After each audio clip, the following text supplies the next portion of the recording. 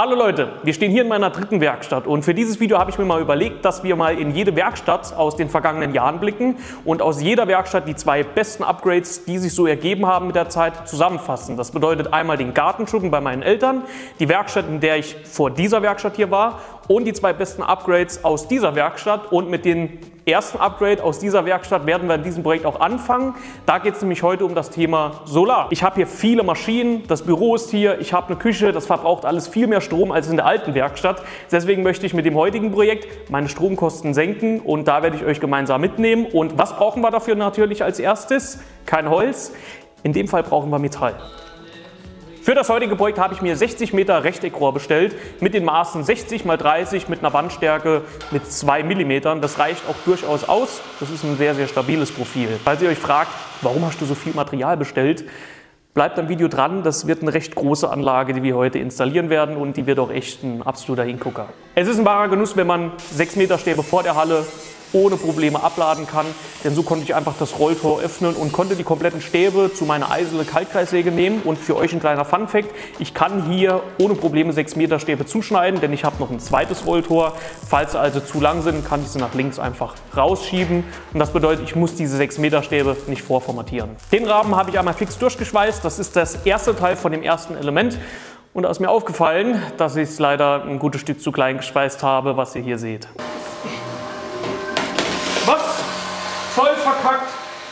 Aus dem Grund habe ich die ganzen ersten Schritte mit dem richtigen Maß wiederholt und habe das erste Modul für die erste Solarplatte nochmal neu geschweißt. Aber als erstes war es mir wichtig, weil das Ganze natürlich auch vom Kursteilnehmer benutzt wird, das wird ein Außenprojekt natürlich, dass das Ganze sehr, sehr stabil wird. Deswegen habe ich mir überlegt, komm, ich muss irgendwie eine schicke Form zusammenschweißen, damit es halt auch eben schick aussieht und es halt eben hier dieser Videowerkstatt gerecht wird. Deswegen habe ich hier so ein paar Winkel einfach zusammengehalten, habe ausprobiert, okay, was sieht gut aus, ein jeweils 22,5 Grad Winkel, dass man dann 45 Grad runter geht. Hat nämlich richtig gut ausgesehen und das seht ihr, was ich hier im Prinzip gemacht habe. Profile zugeschnitten, die Winkel ausprobiert, was halt eben gut aussieht und danach habe ich es wieder miteinander verschweißt.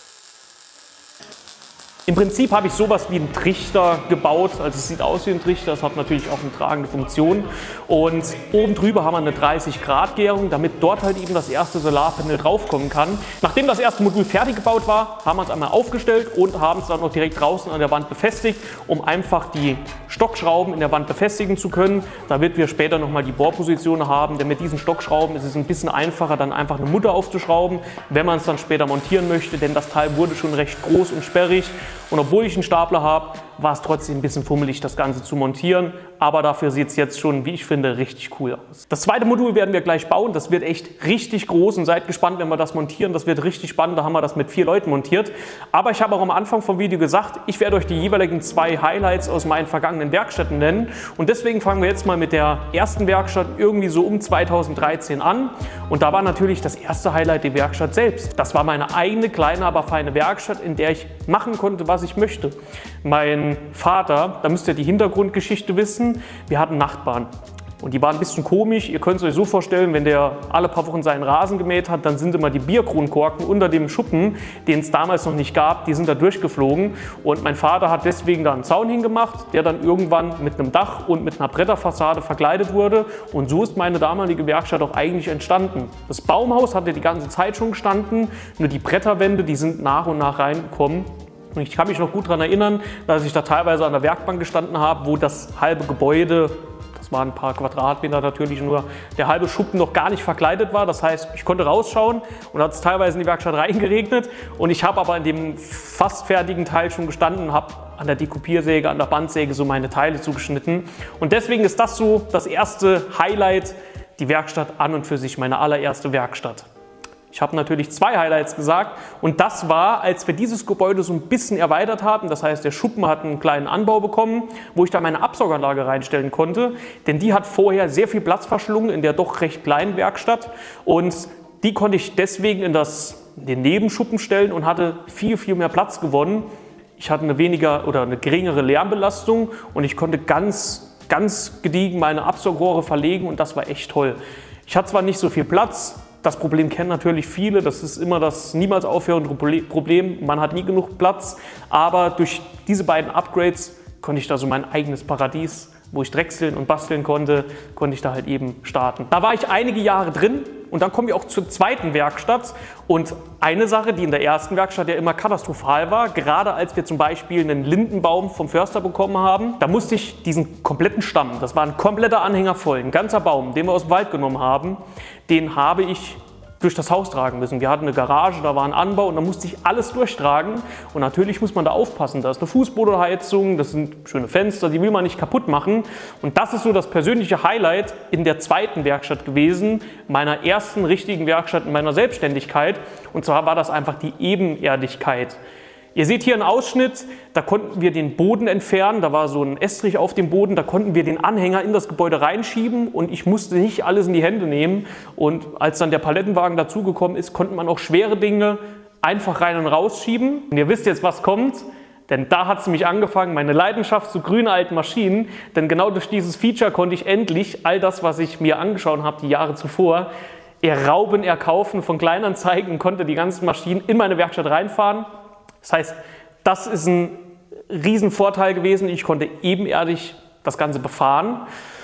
Und der nächste Vorteil war dann, dass ich dann richtig anfangen konnte, mit die, diesen ganzen Maschinenpark anzusammeln. Und das sind die zwei Highlights, die auch bis dato geblieben sind. Der Maschinenpark und die Ebenerdigkeit. Und das will ich nicht mehr missen. Das war wirklich grandios. Schreibt mal gerne mal in die Kommentare, welche Highlights bei euch so die letzten Jahre entstanden sind, was ihr nicht mehr missen möchtet. Die Verbesserung aus dem heutigen Video ist offensichtlich ein Balkonkraftwerk. Und damit ihr wisst, was ich hier benutze, in welcher Konstellation ich das Ganze benutze, werde ich euch einfach ein paar Zahlen, Daten und Fakten geben, damit ihr einfach Bescheid wisst, was die Anlage halt eben kann. Ich benutze heute das Anker Solix. Wir haben auch kleinere. Ich habe jetzt das größte. Und da haben wir insgesamt vier Solarpaneele und wir haben zwei Speicher. Die Solarpaneele haben jeweils 540 Watt mal 4, weil wir vier Panels haben. Sitzen 6. Falsche Information von mir an euch. Die einzelne Platte hat nicht 540 Watt, sondern 445 Watt. Sorry für den kleinen Fehler. Und der Speicher hat jeweils 1600 Wattstunden. Das bedeutet, wir können mit über 2000 Watt das Ganze laden und haben 3200 Wattstunden, um das Ganze zu speichern. Das ist das Schöne an dem Speicher. Man kann den Strom benutzen, auch wenn die Sonne mal nicht scheint oder wenn man sie halt eben ein bisschen später abends braucht. Die Akkus können bis zu 6000 Mal geladen werden. Die Panels sind IP68 geschützt und das Ganze kann man innerhalb von zwei Stunden montieren. Das hat offensichtlich bei mir nicht ganz hingehauen, weil ich ein viel größeres Setup aufgebaut habe mit einer entsprechenden Unterkonstruktion. Aber als ich das Ganze verkabelt habe, ist mir auch aufgefallen, wenn die Module einmal hängen, das ist wohl der größte Kampf, wenn man das Ganze montiert. Da muss man einfach nur noch die fertig konfektionierten Solarkabel ineinander stecken und muss das Ganze an den Wechselrichter und in die Steckdose stecken. Wir haben ein schickes schwarzes Design und dazu haben wir 10 Jahre Herstellergarantie. Jetzt ist natürlich so der wichtigste Punkt und das ist auch wichtig für euch, das müsst ihr euch selbst nochmal erlesen wie bei euch die Sonne scheint, wie die Montageposition ist, wie effektiv das Ganze bei euch ist. Wir können mit dieser Anlage bis zu 1422 Kilowattstunden pro Jahr erzeugen. Wenn wir dann das Ganze einmal ausrechnen mit 40 Cent die Kilowattstunde, sind wir bei, einer Ersparnis, bei einem Ersparnis von 569 Euro pro Jahr. Wie gesagt, bei 40 Cent pro Kilowattstunde. Und deswegen hier noch der kleine Nachtrag. Was ich euch auch noch nicht gezeigt habe, weil es noch nicht richtig funktioniert hat, ist die Anker-App, also die Smart Anker-App, mit der ihr das Ganze steuern könnt. Hier seht ihr, was wir derzeit an Solarstrom machen. Ist nicht mehr so viel, wir haben fast 5 Uhr, die Sonne scheint nicht mehr wirklich auf die Panels. Wir haben derzeit 41 Prozent geladen. Ich habe es gesagt, das Wetter war heute sehr, sehr bescheiden, sehr viel Regen, viele Wolken. Heute Morgen war es sehr nebelig und aktuell benutzen wir 318 Watt, um hier zum Beispiel das Licht zu betreiben und so weiter und so fort. Wir haben zwei Akkus, da können wir hier direkt draufklicken und da sehen wir hier, okay, Akku rechts hat 51 Prozent, Akku links hat 30 Prozent. Auf jeden Fall, was für euch wichtig ist, Einspeisung ins Hausnetz, das könnt ihr hier einstellen. Das heißt, wie viel Strom ihr zum Beispiel jetzt benutzt. Ich habe jetzt gesagt, okay, morgens möchte ich, dass ich einspeise. Morgens leuchtet beziehungsweise morgens scheint sowieso noch keine Sonne bis 7 Uhr. Da leuchtet das nicht direkt auf das Solarpanel. Deswegen will ich in der Zeit meine Standby-Verbraucher zum Beispiel mit dem Akkustrom betreiben.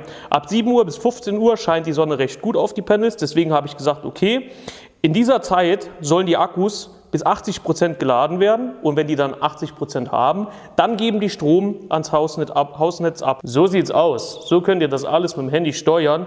Und jetzt seht ihr, jetzt haben wir ein bisschen mehr Verbrauch, weil die Leuchten hier in meiner Schreinerei eingeschaltet sind.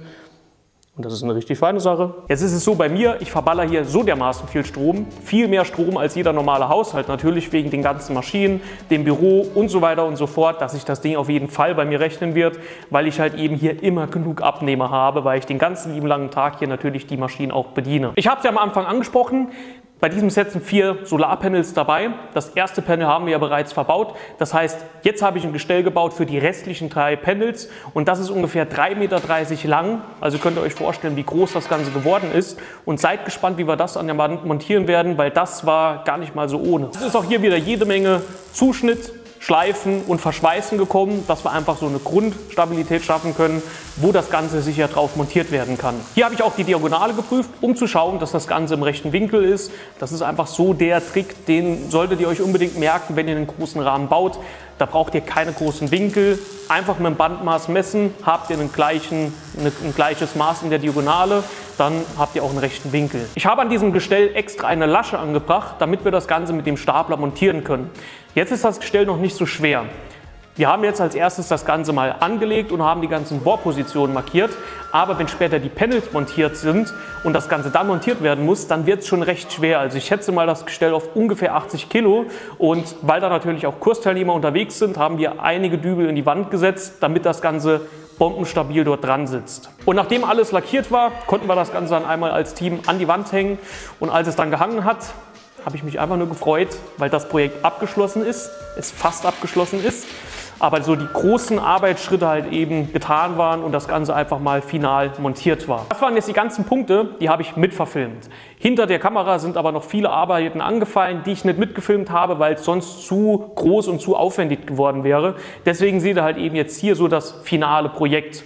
Was ich hier noch ansprechen möchte, ist auch das Batteriefach. Ich habe ein Fach gebaut, wo diese zwei Akkus drin Platz finden. Und da seht ihr jetzt noch jede Menge Kabel. Und da will ich betonen, das ist so nicht fertig. Es sind nämlich tatsächlich noch nicht alle Solarplatten angeschlossen, weil einfach ein paar Stecker gefehlt haben, weil so wie das Ganze vorkonfektioniert ist, ich es natürlich nicht benutzen konnte. Ja, aber was ist denn das Riesen-Upgrade, was noch fehlt hier in dieser Werkstatt? Ich habe mir echt lange Gedanken gemacht, was ich hier euch sagen soll, was mir in dieser Räumlichkeit hier halt eben am besten gefällt. Ist es jetzt der Stapler? Hm, ich hätte mir auch einen Stapler zulegen können für die alte Werkstatt. Okay, da wäre sie zwar zu klein für gewesen. Ist es die Möglichkeit, dass ich mit dem Auto hier reinfahren kann? Okay, in der alten Werkstatt konnte ich irgendwie auch in die Werkstatt reinfahren. Zwar nicht gut, aber es ging irgendwie. Nein, tatsächlich ist es hier in dieser Werkstatt einfach die Raumaufteilung. Das ist ein 300 Quadratmeter großes Gebäude und hier diese Werkstatt ermöglicht es mir einfach, dass quasi mehrere Parteien möglicherweise arbeiten könnten. Hier in der Schreinerei kann ich zum Beispiel arbeiten, währenddessen jemand im Büro arbeitet und nicht gestört ist. Und währenddessen ich hier in der Schreinerei arbeite und jemand im Büro arbeitet, kann die Brikettpresse laufen und währenddessen kann noch jemand hinten zum Beispiel was schweißen, ohne dass man sich gegenseitig stört. Und das ist einfach ein Vorteil. Da braucht man einfach extrem viel Platz für und gerade wenn es halt eben erforderlich ist, dass wenn ich zum Beispiel sage, okay, komm, ich mache nur was in der Schreinerei und mein Vater zum Beispiel was am Anhänger repariert, dann ist das ein Upgrade. Das ist so toll, ich kann hier ganz in Ruhe weiterarbeiten, während mein Vater zum Beispiel, so war es mich erst vor kurzem, einen Anhänger repariert. Wir haben jetzt die ganzen Upgrades aus den vergangenen Werkstätten, die werden im Prinzip mitgenommen. Sei es jetzt hier die fest installierte Absauganlage, die beste Absauganlage ever von Absaugprofi, die jetzt auch hier fest installiert ist, wie in der ersten und in der zweiten Werkstatt. Aber dazu ist halt eben jetzt gekommen, dass man hier unabhängig an vielen, an vielen Projekten arbeiten kann. Und das ist eben so eine Sache, gerade in solchen Zeiten, wie als in der Zeit ich das Projekt gebaut habe. Da ist eine Urne dazwischen gekommen, das große Solarprojekt ist dazwischen gekommen, der Online-Shop steht hier auch drin. Das erfordert einfach sehr, sehr viel Platz und das ist ein Upgrade, den ich gar nicht mehr missen kann, weil sonst würde die Firma Kontoholz gar nicht mehr so richtig funktionieren, weil es sonst zu viel Arbeitsaufkommen ist für die Räumlichkeiten, die halt eben in der alten Werkstatt vorhanden waren. Und das waren jetzt mal meine vergangenen, jeweils zwei Upgrades aus den vergangenen Werkstätten. Ich bin mal sicher, dass sie wird nicht die letzte Werkstatt bleiben. Also abonniert gerne den Kanal und bis zum nächsten Video wünsche ich euch was. Ne? Ciao.